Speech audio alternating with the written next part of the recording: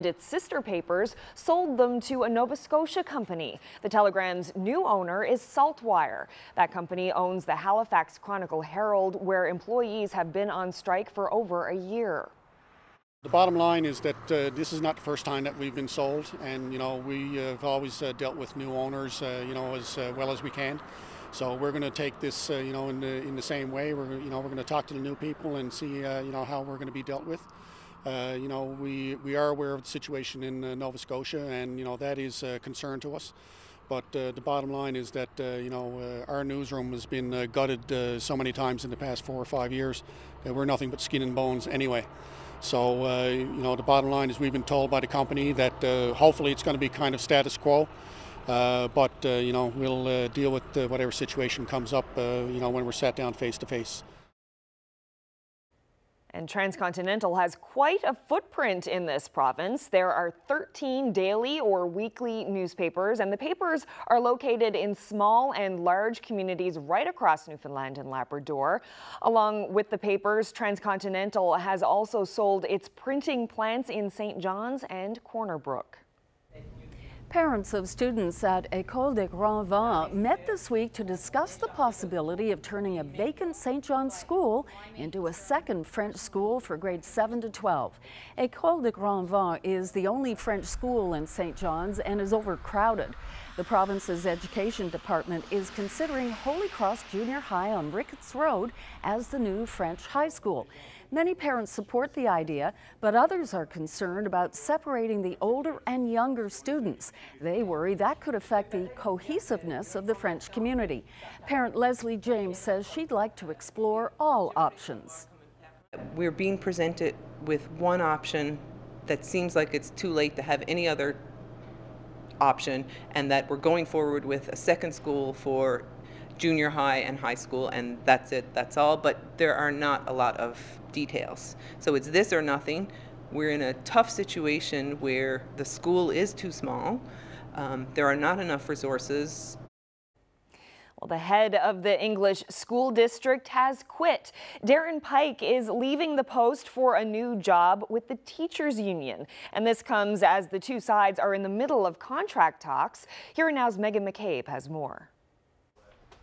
Darren Pike steered the English school district through a lot in almost four years, but now he's going to see its future from the other side, taking a job with the NLTA.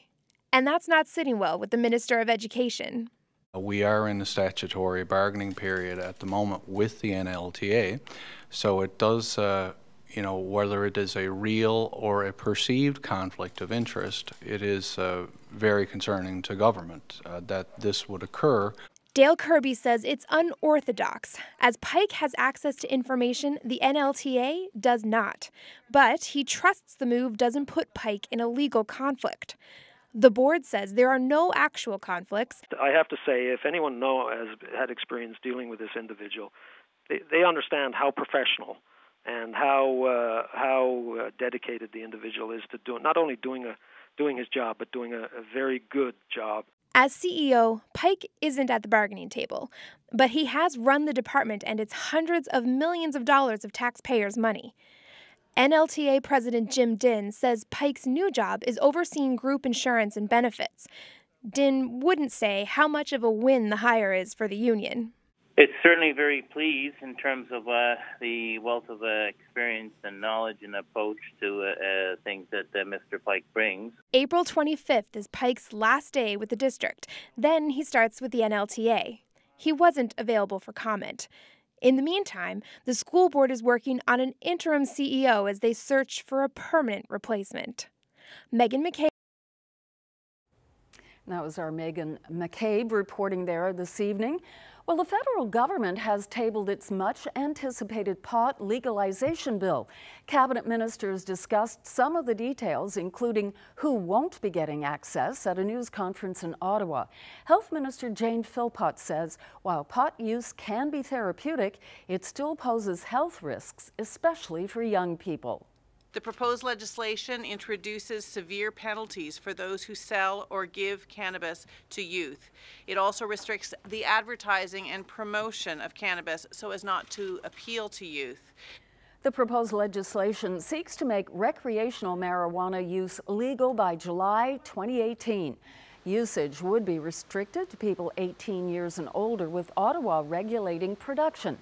Adults will be permitted 30 grams of dried cannabis or its equivalent and four plants.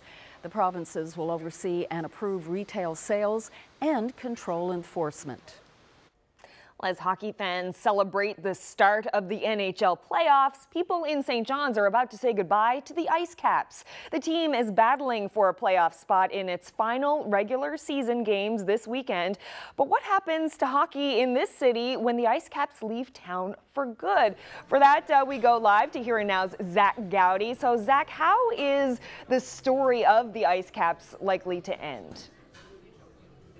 Well, Carolyn, hopefully it will end with one last playoff run if the Ice Caps should win either of their two games this weekend, or if the Utica Comets should lose a game, then the Caps will be in the playoffs. But after that, the team is moving to Laval, Quebec, and the AHL in St. John's may never return. Now, this morning I spoke with Glenn Stanford, the team's chief operating officer. He was right there when the St. John's Maple Leafs packed up and left town. Now he's watching as another AHL club prepares to do the same. But Stanford says he is not giving up on hockey in St. John's. Yeah, and it might be the end of professional hockey here in St. John's.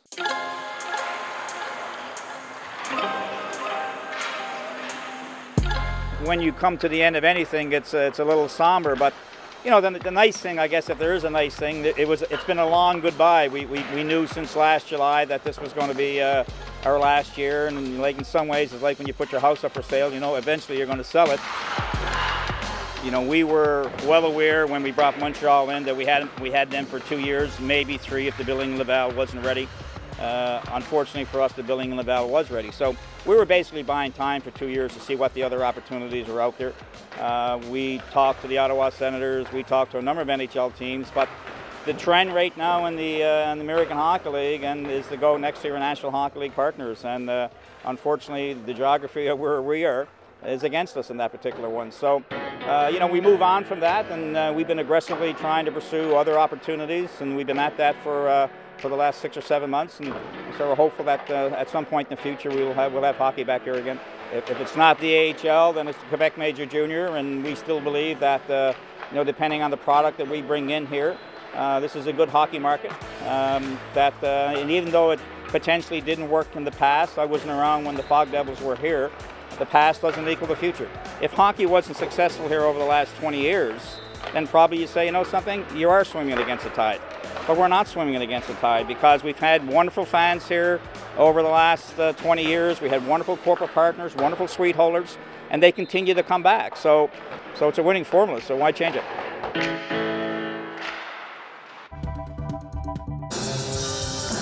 Put down the books and pick up that guitar. After the break, you'll hear about some students who used today's class time to rockin' and rollin'.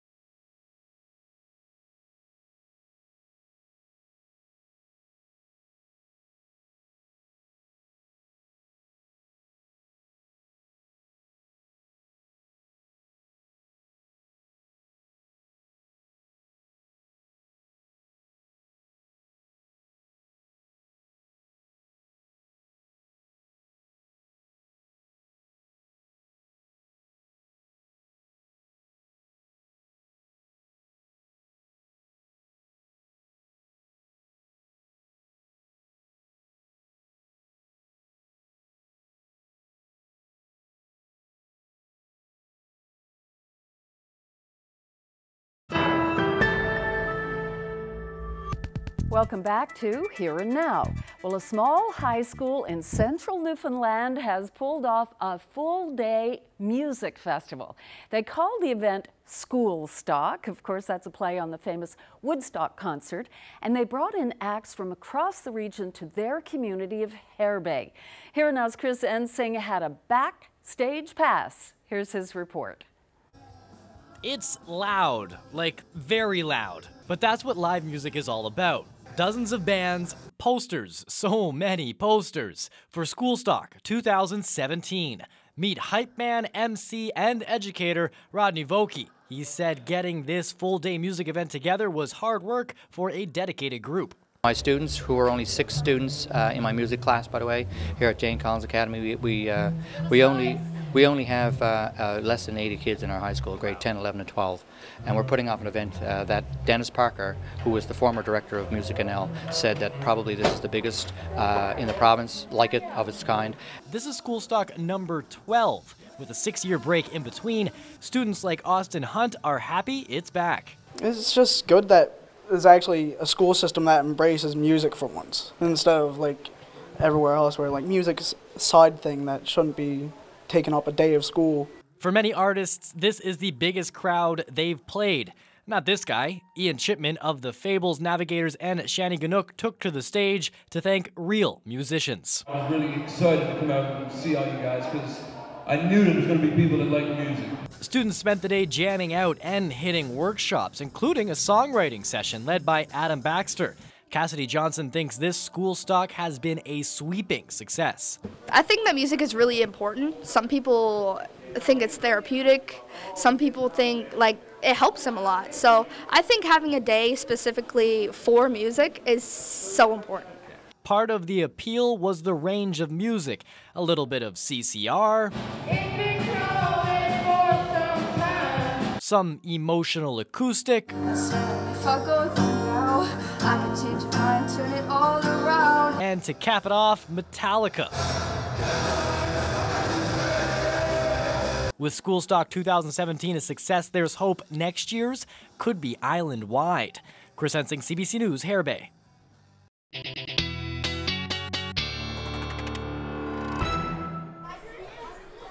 And time now for a look at your weather forecast. Uh, we are going to, of course, talk about uh, the NHL playoffs are underway. The Leafs are in. We're going to mention that in just a moment. But I do want to get your weather forecast. And, of course, a long weekend coming up. And not a bad Good Friday. And a pretty good start to the long weekend, really. As we take a look at some of those current temperatures right now, 9 to 10 degrees this evening across the metro region. It's a beautiful evening out there. Uh, we are looking at temperatures near 5 in Gander, 7 Badger, three in Corner Brook, and even above the freezing marker, flirting with it in uh, Labrador City. Bit of snow on the go. St. Anthony, Happy Valley Goose Bay. As we take a look at those winds, you can see where the winds are in from the south, uh, warming us up across the island. Northeasterly winds for uh, the Straits and into the Cartwright region, Happy Valley Goose Bay. That's where we've been seeing the snow today. Satellite radar picture uh, shows this nicely as well with this system that's been rolling through. The uh, southerly flow ahead of the system warming us up, and yeah, the snow on the go for the northern peninsula and southeastern parts of Labrador for today. As we roll through tonight, watch your future tracker. Note that snow will taper to flurries through the overnight in southeast parts of Labrador. There's a chance of a shower or light drizzle sprinkling here across uh, Newfoundland for tonight. Uh, keep that in mind if you're headed out, but generally it's pretty quiet. By the time we get to tomorrow morning, we're near plus one in St. John's just below the freezing mark across the rest of the province, across the rest of the island, that is. Minus 8 to as cold as minus 16 across inland parts of Labrador. Now, as we roll through tomorrow, it's a generally cloudy day across the island. Note that the winds will shift from uh, southwesterly direction to northwest into the afternoon here across eastern parts of Newfoundland with northerly winds across uh, the western parts of the island. A few more sun breaks uh, for the west coast as well as we take a look at your conditions for tomorrow. Uh, you can see where, yeah, around 4 degrees for Corner Brook with a bit of sun, but a chance of an isolated flurry. Best chance of flurries will be for Central, uh, plus five for the Burin and for the uh, St. John's and the Metro region. And as we uh, take a look into Labrador, we're looking at minus one Happy Valley Goose Bay and minus three in through Labrador City. So, uh, before we get to, uh, I want to show this picture right off the top before we get into this Leafs chat, uh, which is of me 20 years ago. This was the Christmas of 96. And, uh, you know, there's been a lot of hurt since then. The Leafs have only made the playoffs 12 times. Uh, in fact, have missed the playoffs 12 times. Have only made it eight times since that picture was taken, and they've missed the playoffs 10 of the last 11 seasons. A lot of hurt, and I'm bringing in fellow Leafs fan uh, John Rich to, uh, well, you've been experiencing more hurt than I have, uh, a little bit longer. Uh, why don't you give us a brief history uh, for those at home that are wondering why it's such a big deal that they're in the playoffs this year? Uh, give us a brief history since 67, the last time we won the Cup. 50 years ago. 50 years ago was the last time we won the Cup, you know. Went through the 70s with Harold Ballard, and that was a tough time. Just had to get butts in the seats. Got to the 80s, that was desperate, but we got the draft, and we got Wendel Clark. And things really changed then for the Leafs, and we really started going. And in the early 90s, those are my earliest memories of the Leafs. When I was around 10 years old, was when we made the 93 run. So we did have some good years, but it kind of tapered off again. And then there was the Sundin years. Sundin years, yeah, we had McGillney, Leach. It was a really good time. Conference finals, a lot of fun. But then, in the dumpster fire started. the, the dumpster fire. Yeah, I mean, uh, really, uh, the last decade has been desperate, desperate, desperate. Dark days. We've had a couple of seasons where it looked like it was going to go okay, and then literally, as the team described, transport trucks off the Literally cliff. off the cliff, yeah. Uh, and then, of course, we made it that one season to the playoffs, and then there was the epic Game 7 collapse. The Leafs had a 4 1 lead in the third period, John. Uh, my therapist told me not to talk about two thirds 2013. it, it hurts too much, so uh, I'm just going to pretend that's off. That didn't happen. It's out of the canon. But now it's different, and it should, uh, by all accounts, I mean, this is a, a great young team that we should be excited Yeah, about. yeah. Auston Matthews, Nylander, Marner, Zaitsev, Connor Brown just goes deep. Frederik Andersen. It's not. Uh, I mean, it's, I'm not looking forward to this round, but I think the future looks bright. Yeah, I mean, it's a bonus that they're here at all. And uh, I think, yeah, as you said, the Shanahan plan is in place, and they've got a great young team. Anyway, thanks for uh, for talking to us. And uh, Go Leafs, go. Go Leafs, go! Yeah, I've still got that Potvin jersey, by the way. I'll throw that on. We've got a special guest coming up later on in the show. You're not going to want to miss that, uh, so stick around. Well, the heavy pack ice hanging around the coastline is causing some real problems for fishermen. We'll explain after the break.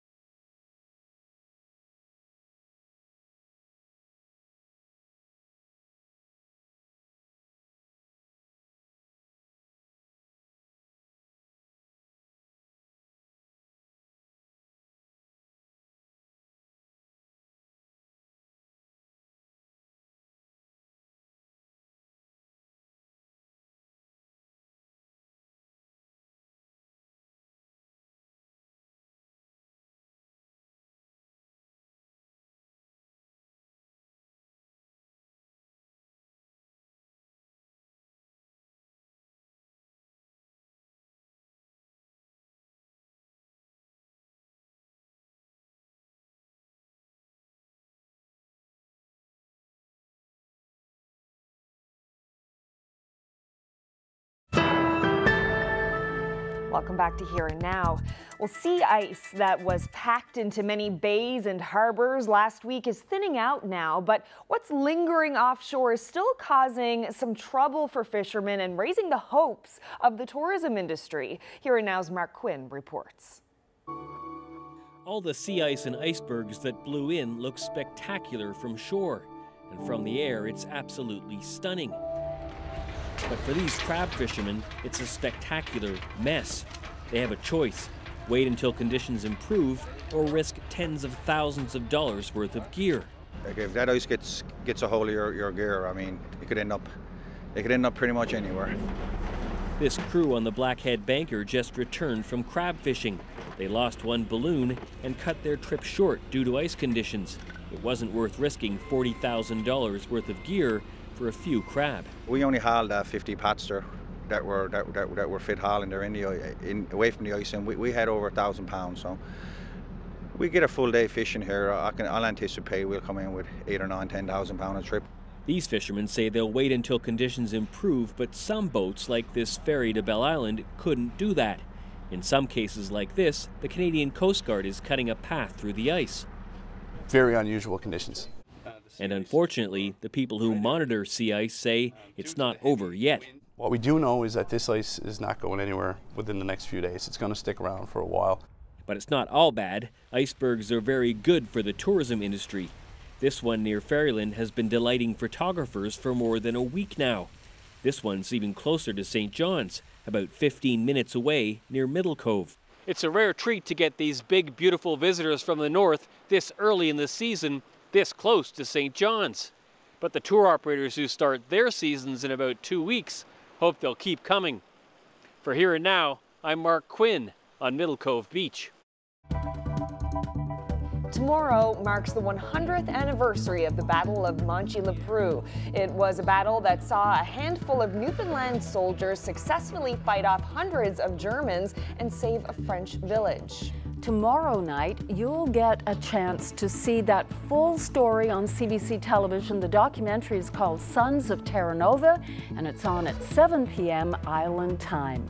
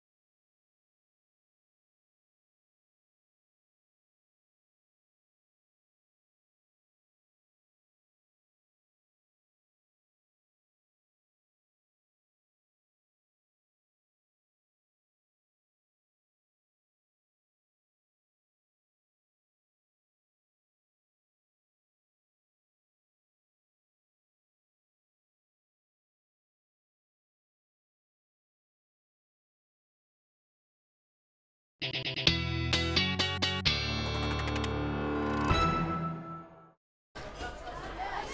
All right, we are live here at the Bigs here in St. John's. The Stanley Cup playoffs are back and the Leafs are in. We're going to talk about that and uh, set that up a little bit more in just a minute. But first, your all important long weekend weather forecast. And why don't we start with current temperatures across Atlantic Canada? And you can see where there's some mild spring like temperatures to be had. Uh, we've got uh, six degrees in St. John's, uh, double digits in Halifax, and, and uh, where temperatures are a little bit milder there, but everybody kind of into that spring feel. As we take a look at your forecast moving forward, uh, we can see the satellite and radar picture with this low that is kind of the the big player on the board over the next 24 hours or so. It is going to depart to the northeast as the future tracker shows. That snow that's been on the go for the southeast parts of Labrador, the northern peninsula, will taper to flurries overnight tonight and into your Friday. Friday is a generally cloudy day across the island. A couple of flurries possible for central towards the west coast. It's uh, clouds more dominant than not, but some sun breaks in the mix for St. John's. Temperatures near plus five. Two on the plus side in central, minus one to minus three across most of Labrador. A little bit milder in the straits. Now, as we roll into your Saturday time period, watch the future tracker. You can see where the clouds continue to dominate across the island. There's going to be some scattered flurry chances uh, in the mix as we uh, take a look at your forecast for Saturday. Note the temperatures that are going to be a little bit cooler here in the east. Two on the plus side thanks to that onshore flow. Inland parts of Central should get to plus five uh, minus two to minus four across Labrador. Now, as we roll into Sunday, uh, you can see where that the flurry chance is still hanging on for central parts of Newfoundland for the early morning, and then it's a pretty nice day. In fact, I think Sunday's the pick of the weekend for central and eastern parts of Newfoundland. We'll see that system coming in from the west. That will arrive for later Sunday uh, with a late day chance of some showers. Could even see some wet flurries mixing in over the northern peninsula and definitely flurry chances on the go for Sunday in Labrador. Note those temps on the island, 7, 8 degrees, the pick of the weekend for sure for Newfoundland. And a look, quick look to Monday, where we are going to see that system move in with showers and drizzle for central and eastern Newfoundland. Western Newfoundland will see a mix back to some late day snow, and southeastern parts of Labrador and Happy Valley Goose Bay will see some snow on Sunday, uh, Monday as well. Your seven day trend, note the temperatures that will uh, start to taper off towards mid next week. Overall, though, not a bad looking forecast for this weekend. Uh, and as we roll into Labrador, uh, again, you folks not looking at a bad weekend with those uh, that snow chance moving in for Sunday and into Monday. So we are here at the Bigs in St. John's. Of course, the NHL playoffs are underway. Five Canadian teams in the playoffs, which is a big change because none were in the playoffs last year. Of course, I'm excited about the Leafs because they're back in for the first time, and it's uh, it's been a long time. It's been a long decade. I was going to talk to a Habs fan, but none would show up. N- not surprising. Hey, hey, hey, hey, hey, hey, Look who it is, Mr. Crow. Yeah. Oh, well, good Congratulations on your team making the playoffs for the first time in what is it, 20 years? Yeah, it's been Yeah. a while. It's I been saw a the while. picture on Facebook. Yeah. Yeah. How old were you? Six. Uh, I was uh, I was 12. Yeah. And uh, yeah, it's been a long old hard run Yeah. since then. Yeah. But uh, first of all, how are you? I'm very well, thank you.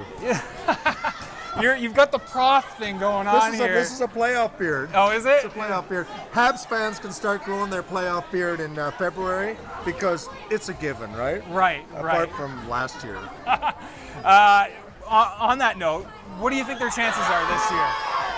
I, I don't think they're great. I mean, I, I think that they rely a lot on Carey Price. Yeah. And I, yeah, I think if they if they beat the Rangers, you know, it'll be it'll be a tall order. Yeah. Because Lundqvist played very well last night. Yeah, right. And the, the Habs tend to ride Carey Price, and I don't know if they've got. It's offense, really, that is your biggest- It's o- it's offense and it's injuries, right? Yeah. And uh, I, I know as a Leafs fan, you must be a little bit concerned about uh, Freddie, the goalie. Yeah, that's right. Right? Yeah, he, but he is back for tonight. Yeah. Uh, but our defense is, is banged up, and our defense is not great to begin Yeah, with. yeah. So as, if you look at the five Canadian teams, then which one do you think has the, the best chance of making a, a run? Is it is it the Edmonton and McDavid? Yeah, I don't know about that. They're really, really inexperienced. That's true. I, I kind of, you know, I really like, as, as much as I hate to say it, I really like the Leafs. No, I do because because they to me they're the most exciting young team in hockey. I'm envious. I wish that you know the Habs had Mitch Marner and uh, and Mr. Matthews. Yeah. But I really really like the Leafs, and I think they have the potential to maybe upset the Caps because the Caps have a history of not doing particularly well in the playoffs and being ripe for an upset. But as you say, it's it's it's a ridiculously long playoff, and the teams that stay healthy are the teams that win. Yeah. Right. No question about Yeah. it. I- And and you know Marner, Matthews. if they upset the Caps, they will literally burn that city Yeah. to the ground. Yeah. Toronto will just melt down. Yeah. It'll be uh, anyway, Anyway, We got to wrap it up. Thank you very much. so great to see Cheers, you. Coop and Roddy and all my students at College of the North Atlantic. Study up hard. Love Your exams on beer. Monday. Love the prof beer. It's nice. oh, Ryan, he looks so relaxed. oh, it is time to introduce you to nine-year-old Lucas King from Mount Pearl. Lucas plays the center position with the Mount Pearl Blades Novice Division. He's an avid hockey fan, and his favorite team is the Montreal Canadiens. We hope you're having a fun season, Lucas. You are our young athlete of the day. After the break, the province's education minister has his say about the surprise change of jobs for the head of the English school district.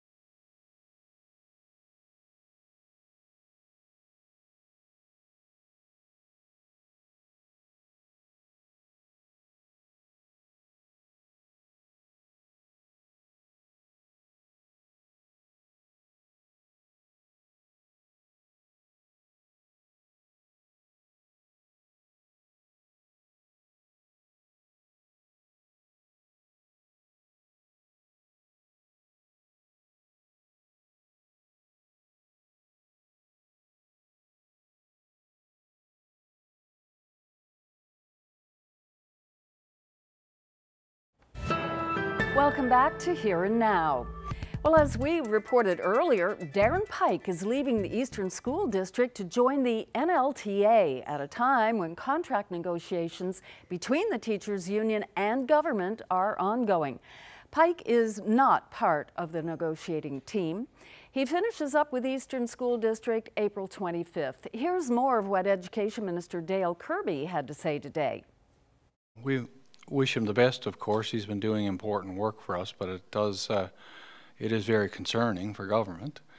Um, the CEO is responsible for well over a hundred million dollars of, uh, you know, working with the board of trustees to administer and disperse well over a hundred million dollars worth of public spending to the school system um, for uh, all the English language schools in the province. And uh, we are in the statutory bargaining period at the moment with the NLTA, so it does, uh, you know, whether it is a real or a perceived conflict of interest, it is uh, very concerning to government uh, that this would occur, uh, and that you know there would be. Uh, a period of, of time during which the CEO uh, was carrying out uh, the work of the uh, school district, uh, you know, in accordance with the responsibility delegated uh, to the board by the Schools Act, uh, and during that period of time, however long, engaging in negotiations around employment with the teachers union. There is a contract that was signed subsequent to uh, Mr. Pike's uh, appointment, um, and there is a conflict uh, clause in there. My understanding is that Mr. Pike doesn't believe that he has violated the conflict clauses, clauses in his agreement, and that the Board of Trustees has sought legal counsel from, from their uh, you know, the, the legal counsel that they have, uh, you know, retained for other issues, and that legal counsel has indicated that they're in agreement that there is no uh, violation of those terms. Uh, but there is indisputably a perceived conflict of interest in the least. In other news now, the Canadian Food Inspection Agency has widened a flour recall over fears of E. coli contamination. The countrywide recall for Robin Hood flour now extends to products sold by Brodie, Creative Baker, and Golden Temple. Recall products should be thrown out or returned to the store. At least 26 people have been affected by the outbreak. Two lawsuits have been filed in Alberta by people who say they got sick after consuming Robin Hood flour. For more information on the products being recalled, head to cbc.ca slash health. Fort McMurray is using controlled burns to fight fire with fire. Memories of last year's devastating wildfires are still fresh, so this spring crews aren't taking any chances. Wood Buffalo Emergency Services crews are lighting fires in potential hot spots that could ignite if left untouched.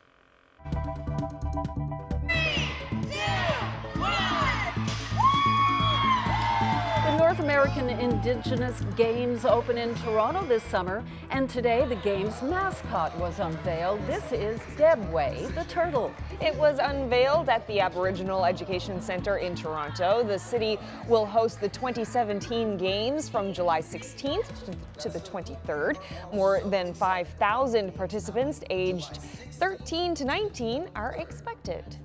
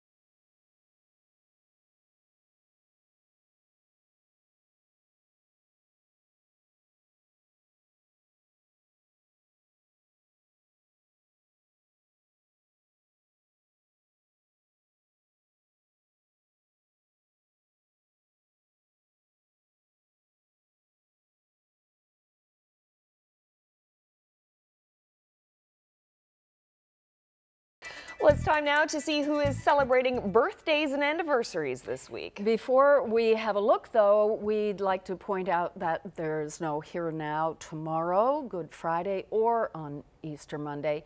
We'll be back here with you on Tuesday night. Now, on to those who are making milestone, or marking milestones.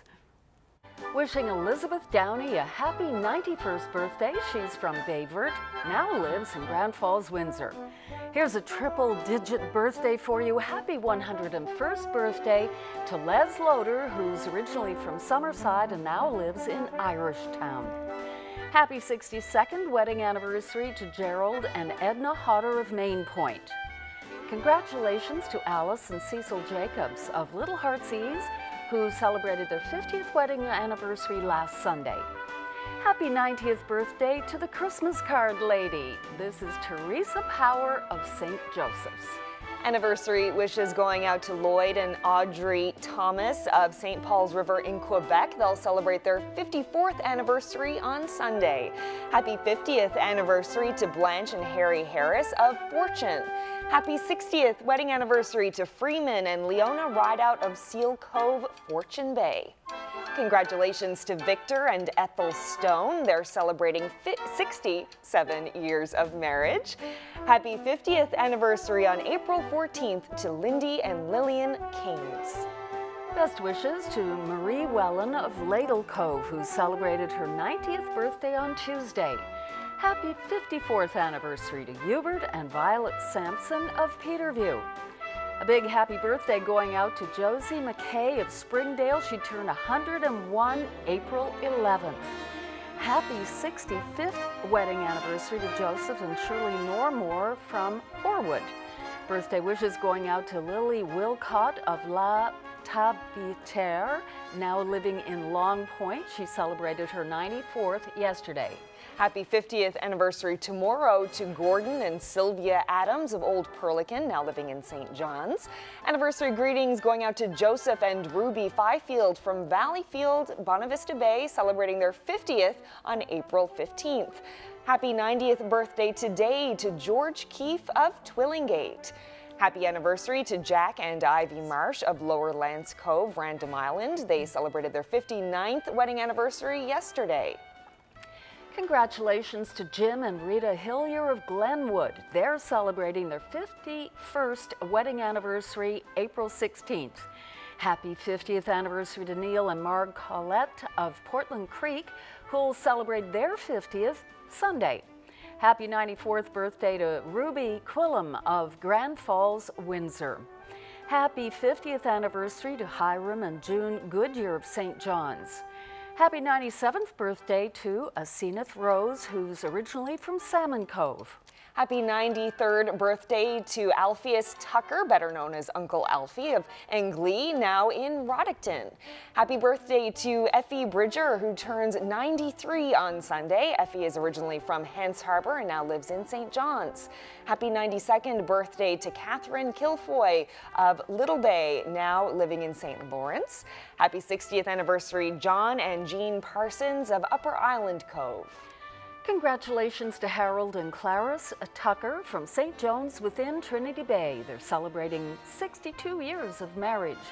Congratulations to Arthur and Hilda George of Port Union, who are celebrating their 57th anniversary. Well, it seems no animal hospital can hold this Houdini